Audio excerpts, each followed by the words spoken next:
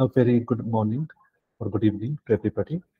So today we are here to discuss a very basic concept of pathology of breast, right? So what is it? So what is breast? Breast is basically a modified skin appendage which is functional in females during lactation but rudimentary in the males.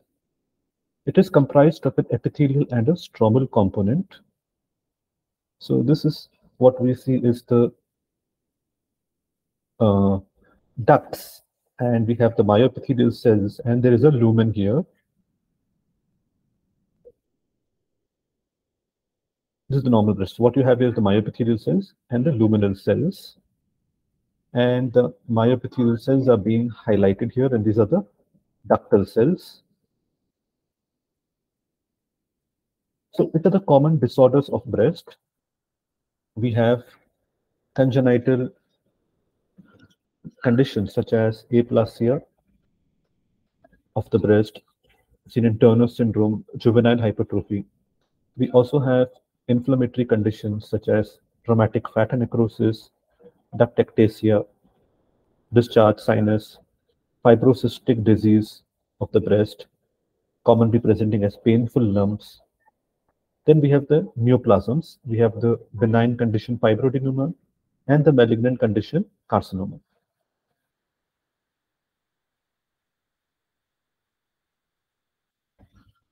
Next, what are the non-neoplastic diseases? The non-neoplastic diseases commonly are acute mastitis, mammary ductectasia, fat necrosis, and fibrocystic changes. What is mammary ductectasia? It is ducts of the breast get dilated and filled with inspissated secretions having periductal, interstitial, and chronic inflammatory changes seen in the fourth to second decades of seventh decades of life. Clinically, the patient presents with nipple discharge, retraction of the nipple due to fibrous scarring. The lesion may be mistaken for carcinoma of breast. You have the duct and surrounding fibrosis with inflammatory cell infiltrate. So grossly, this condition appears as a single poorly defined indurated area. On cut surface, you have dilated ducts containing cheesy inspissated secretions. Histologically, on the microscopy, what you find are dilated ducts with granular amorphous pink debris and periductal and interstitial chronic inflammatory cell infiltrate. Surrounding that, you'll have a lot of inflammation. At this magnification, also you can find the blue-blue areas these are the inflammatory cells. Coming to the different types of breast lumps. So around 40% are fibrocystic change and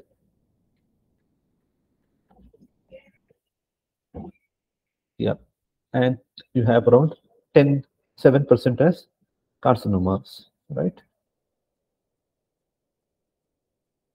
10% as carcinomas all right? And 7% are fibroadenomas. Coming to fibrocystic disease, it's also called as fibroadenosis, fibrocystic change. And what you have is the commonest lump is seen in around 10 to 50% of women.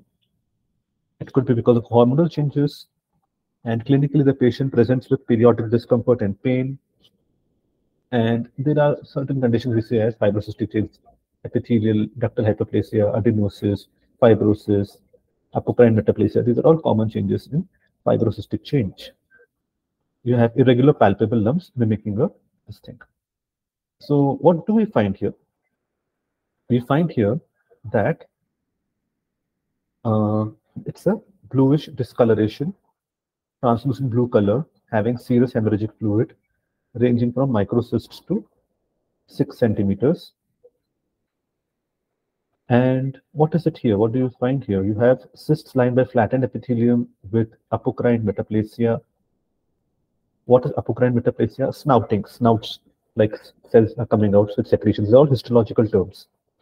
And stroma shows lymphocytic infiltrate. So fibrocystic change, we can also have proliferative type. There's a lot of cell multiplication, like fibrocystic change with epithelial hyperplasia, sclerosing adenosis, fibrocystic change with atypia. it is important to remember that fibrocystic change per se is not a pre-malignant condition, right? So you have here this duct. What is the feature to say it is benign? One thing is it is irregular spaces. You can see this is small, this is large, small, large. So each duct you have to see. If they are irregularly shaped, that is the feature of benignity. However, if you find a uniform cookie cutter pattern, then it can indicate a DCIS. Look at this, all irregular shaped, irregular shaped, right? This is another condition in fibrocystic change called sclerosing adenosis. A Lot of sclerosis and adenosis. What's the meaning of the term adenosis? Increase in the number of acini. It's called adenosis. Acini means small, small, small glands are there. No, these are all increased. That is adenosis. Sclerosing means lot of fibrosis around them. Right. So this is a textbook picture of fibrocystic change having dilated ducts, fibrous stroma, apocrine metaplasia. Some common conditions like a small duct papilloma. What is that? It is a, within the duct, you will have a small lesion in the papillary or finger-like fashion, right? Comprised of fibrovascular cores with lined by two cell layer. We have intraductal papilloma here and multiple papillae with fibrovascular core attached to a ductal wall. The cells are benign. And all these are the list of benign conditions. Most common is a fibroadenoma seen in the third decade, also called as the mouse in the breast. Why is it called a mouse in the breast? Because it has a characteristic feeling of slipping away. You try to feel it, it will go here, there, here, there, as if it's a mouse in the breast. Rounded, mobile, painless lump, no scarring, no calcification, slit-like gland has a fibrostroma. This is a classical appearance of a circumscribed lesion, white, firm, with slit-like spaces. Fibroadenoma is comprised of two components, glandular and stromal component. And the glandular component has two patterns, pericanalicular and intracanalicular pattern. Okay. And pericanalicular dilated ducts, intracanalicular compressed ducts.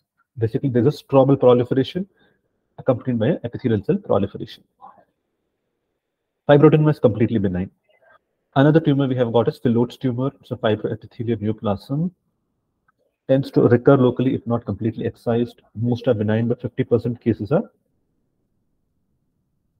15% cases are malignant. It can metastasize, right? So Phyllodes is a category which has a benign borderline and malignant tumor, right? And it's a stromal tumor. If it becomes malignant, it's called a sarcoma because it's a stromal tumor. It will, as a sarcoma, it will spread through the blood route. It metastasizes hematogenously. So it's a large tumor. Phyllodes means leaf-like pattern. Oval, bosselated, less fully encapsulated by fibroadenoma. Cut surface gray-white cystic areas with areas of hemorrhage, necrosis, and degeneration. So you have a hypercellular stroma with proliferation of benign ductal cells. The histological criteria used to distinguish a benign borderline malignant are the frequency of mitosis, cellular atypia, cellularity, and infiltrative margins. There's a fibroadenoma. Look at the cellularity is less, right? And this is a malignant phyllodes. What are you finding here?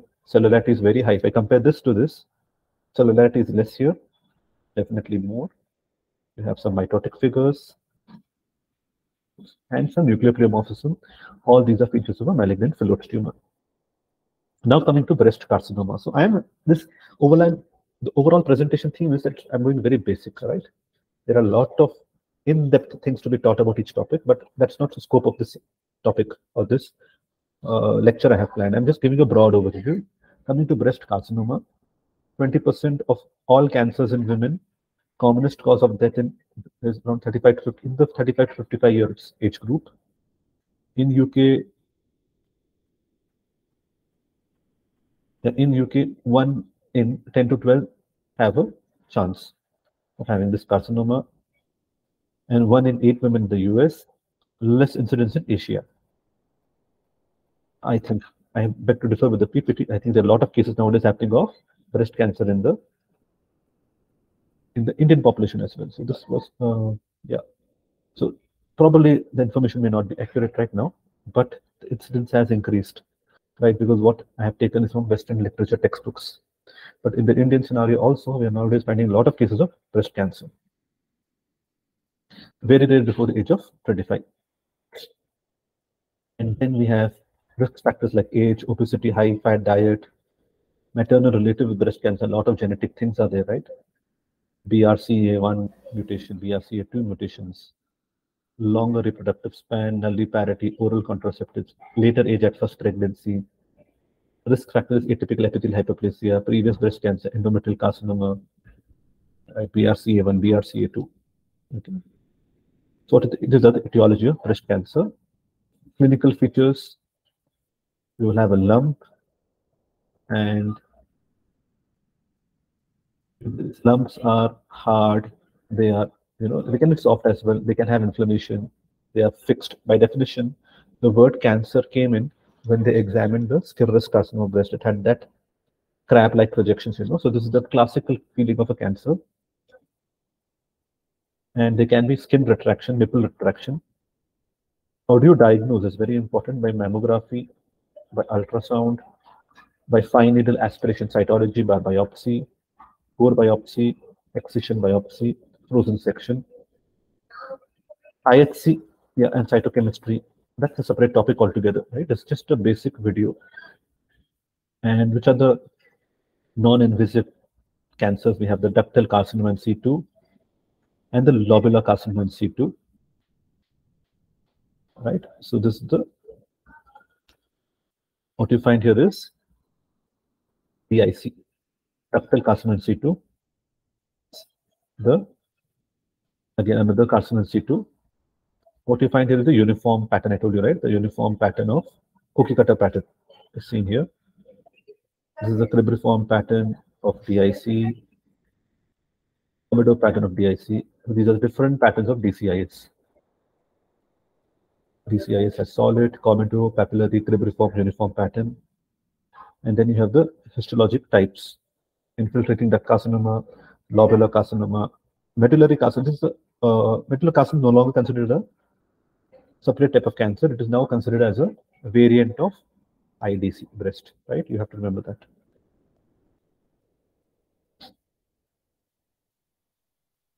Carcinoma, skin retraction.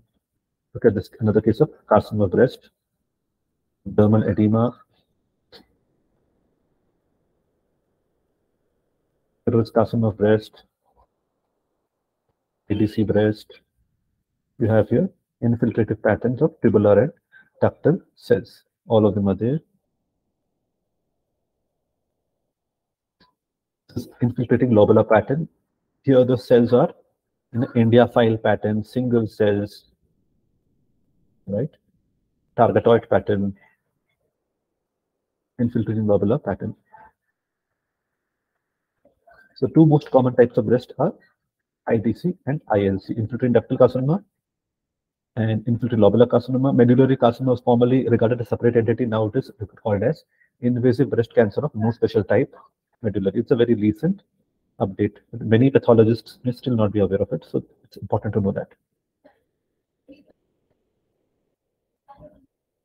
In infiltrating carcinoma of breast or invasive carcinoma of breast, fibrosis,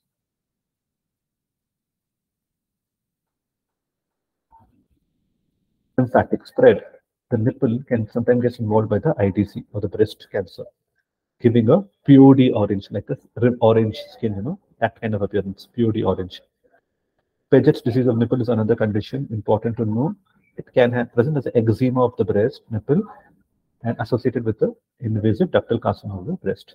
A small word about ER, PR, it's a big topic again. I may plan another video on it. So ER, PR, and HER2 are very important nowadays. Whenever you diagnose a cancer of breast, you have to go for these immunohistochemistry markers. All right. And you have the HER2 marker as well. It is important because it's a drug called Herceptin, which can work on the HER2 markers. So what you find here is ER receptor positivity in the nuclei. You have to follow the Allred scoring for that. All right. And PR as well.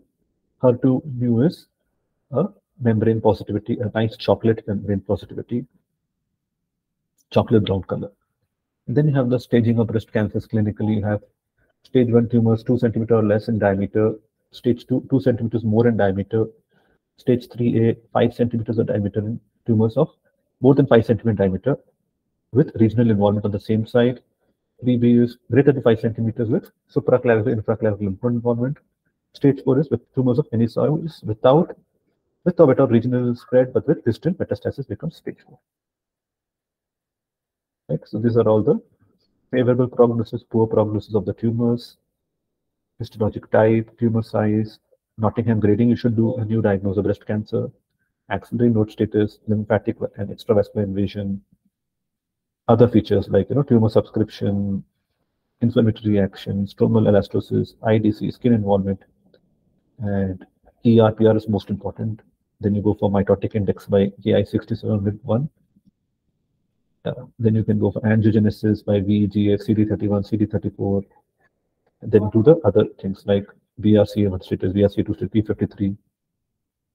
Molecular Chinese is becoming a big field altogether, right? Yeah, so that's the end of the presentation. It was a very broad overview. There are a lot of things happening in it, right? Fine. Thank you for your listening to this presentation. Thank you.